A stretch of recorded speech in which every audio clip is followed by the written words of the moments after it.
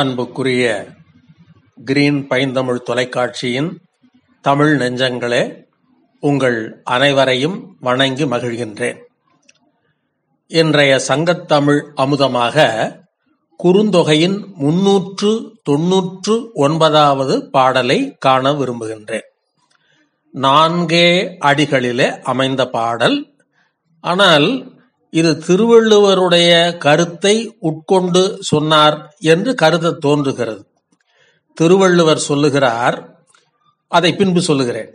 ஆகையினாலே இங்கே இந்த பாடலை பாடிய ஆசிரியர் யார் என்றால் பரணர் என்று சொல்லக்கூடிய ஆசிரியர். உங்களுக்கெல்லாம் தெரியும் கபிலரும் பரணரும் மிக நெருங்கிய நண்பர்கள் என்று உங்களுக்கு தெரியும். ஆகையினாலே அப்படிப்பட்ட ஒரு பரணர் பாடிய பாடல். இந்த பாடலிலே உள்ள கருத்து என்னவென்றால் வரைவு நீட்டித்த இடத்து தலைமகள் தோழிக்கு சொல்லியது. ஏற்கனவே உங்களுக்கு தெரிந்த செய்திதான். வரைவு என்றால் திருமணம். திருமணம் செய்வதற்கு தலைவன் காலம் தாழ்த்துகிறான்.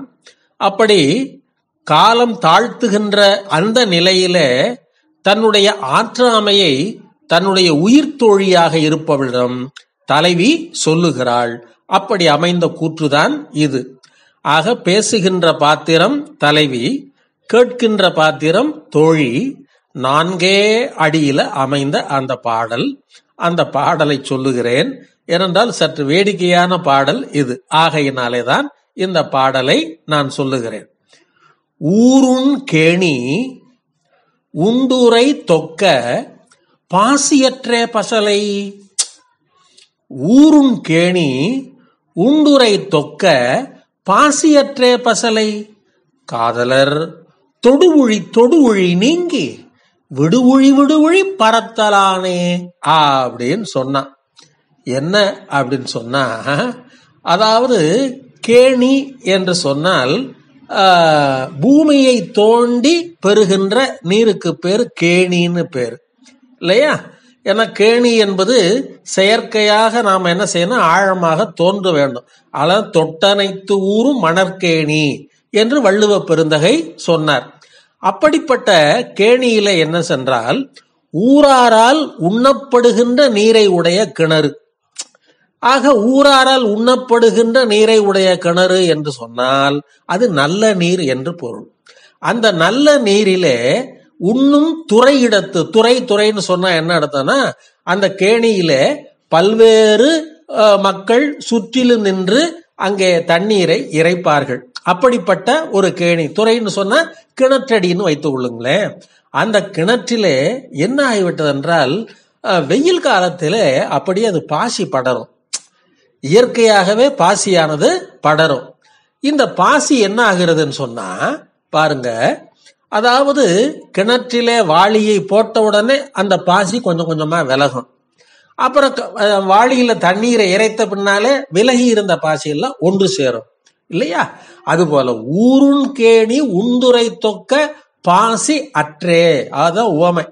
ஆக ஊராரால் நீர் இறைக்கப்படுகின்ற கிணற்றிலே இருக்கின்ற பாசி தண்ணீர் இறைக்கும் பொழுது அது நீங்கியும் தண்ணீர் இறைத்த பின்பு அது ஒன்று சேர்வது போல என் தலைவன் என்னை பக்கத்திலே அருகி நின்று என்னை தொடும்பொழுதெல்லாம் இந்த பசலை நீங்கி விடுகிறது. அவர் என்னை விட்டு நீங்கி அடுத்த நொடியே இந்த பசலை என்று சொல்லக்கூடிய நோய் என்னை வந்து அடைந்து விடுகிறது. என்ன பசலை என்று சொல்லக்கூடிய நோய் என்றால் தலைவன் பிரிவினாலே தலைவுக்கு ஏற்படுகின்ற உடலில் ஏற்படுகின்ற ஒரு சிறு மாற்றம். அதை தேமல் என்று சொல்லுகிறார்கள். அந்த தேமல் என்பது ஒரு வகையான தோல் நோய். நாம் அதை சொல்வதற்கு இங்கு இல்லை. ஆகையினாலே அவள் உடம்பிலே தோற்றுகின்ற ஒரு சிறு மாற்றம். தலைவன் வருகிறான் என்ற மகிழ்ச்சியிலே ஒரு பூரிப்பு. தலைவன் நீங்கிவிட்டான் என்ற உடனே உடலிலே ஒரு வாட்டம்.